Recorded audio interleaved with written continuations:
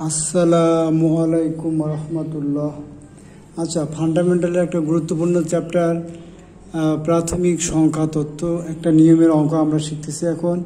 কোনো একটা সংখ্যা, বড় সড়ো একটা সংখ্যা দেওয়া আছে, সেই সংখ্যাটির ভাজকের সংখ্যা আর ভাজকগুলির সমষ্টি নির্ণয় করো। এই নিয়ম শিখতেছি, আমরা আগে অঙ্কগুলো শিখব, তারপর আমরা এই থিওরিতেও যাব। গুরুত্বপূর্ণ বেশ কয়েকটা থিওরি আছে এই চ্যাপ্টারে তাহলে আমরা এই একটা বড় সড়ো সংখ্যা দেওয়া আছে, একক দশক শতক হাজার, চোদ্দ হাজার পাঁচশো তেপ্পান্ন। এই সংখ্যাটির ভাজকের সংখ্যা আর ভাজকগুলির সমষ্টি নির্ণয় করে। এটা নিয়ম শোনো। প্রথমে আমরা সংখ্যাটি লিখব। লিখে এখানে বেজোর সংখ্যা থাকলে আমরা ছোটোবেলা থেকে এটা জানি যে বেজোর সংখ্যা থাকলে এখানে একটা বেজোর সংখ্যা যে থ্রি দিয়ে এটা ভাগ করব। মানে লসগু যেভাবে করে সেভাবে এখানে বেজোর থাকলে থ্রি দিয়ে শুরু করলাম। তারপর ভাগফল, এখানেও বেজোর তাহলে থ্রি যাবে। এখানেও বেজোর সংখ্যা, তাহলে থ্রি যাবে। এখানেও বেজোর সংখ্যা, তাহলে সেভেন যাবে। এখানেও বেজোর সংখ্যা, তাহলে সেভেন। এটাতে আমরা সবাই পারব।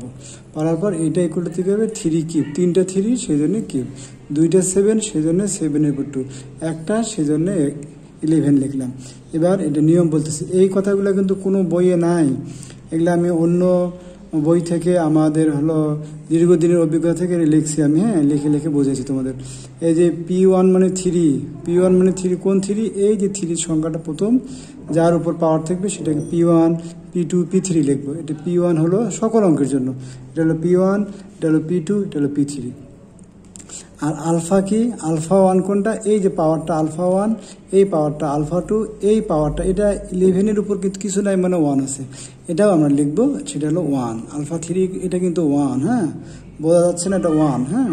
এখন ভাজকের সংখ্যা বের করার নিয়ম হচ্ছে হ্যাঁ? ভাজকের সঙ্গে এই সংখ্যাটা বের করার নিয়ম হচ্ছে যে alpha one plus one alpha two plus one alpha three plus one তাহলে আলফা কি?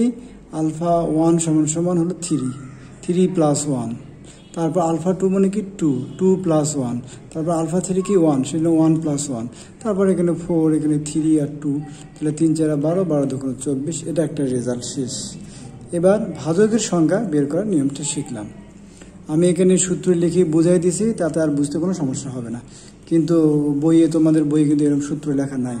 যাই হোক, তারপর ভাজক, এখন এতের ভাজকগুলির সমষ্টি বের করার জন্য যে সূত্র লিখছে, অনেক সুন্দর করে একটা সূত্র লেখা আছে। P one alpha one plus one, তারপর minus one, P one minus one, তারপর এইভাবে সূত্র সূত্র লিখছে। এখানে alpha one alpha one, alpha two, alpha three, এখানে P one, P two, P three, এখানে P one, P two, P three. হ্যাঁ সূত্র লিখছে, মানগুলো বসাও। এই পি ওয়ানের মান কত? থ্রি। তারপর আলফা ওয়ানের মান কত? থ্রি। তাহলে থ্রির উপর ফোর কেন? Three plus one, four. আর এখানে পি টু এখানে সেভেন কেন? যে পি টুর মান সেভেন তারপর alpha two plus one alpha two হলো টু টু প্লাস ওয়ান সেই জন্য থ্রি আর মাইনাস ওয়ানটা তো আলাদা সূত্রের। আর পি টু হলো সেভেন আর পি থ্রি ইলেভেন এই যে পি থ্রি ইলেভেন ইলেভেন উপর টু কেন? এই যে alpha three plus one alpha three মানে ওয়ান আর plus one one one two আর মাইনাস ওয়ান তো আলাদা সূত্রের, আর পি থ্রি মানে আলাদা ইলেভেন আর তারপর সূত্রের মধ্যে লিখে এটাকে বিয়োগ করে ভাগ করছি।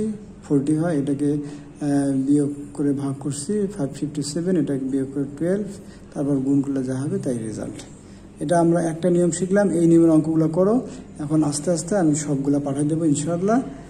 অনেক ব্যস্ততার মাঝখানেও তোমাদের এই, এটা ভিডিও করে পাঠিয়ে দিলাম, কোনো সমস্যা হলে তারপর বলবা, আর ভিডিও দেখে অবশ্যই কমেন্ট লাইক তারপর হচ্ছে যে সাবস্ক্রাইব কী কী জন্য করা লাগে সব কিছু করবা, আমি তাহলে সবগুলা পাঠিয়ে দেবো ইনশাল্লাহ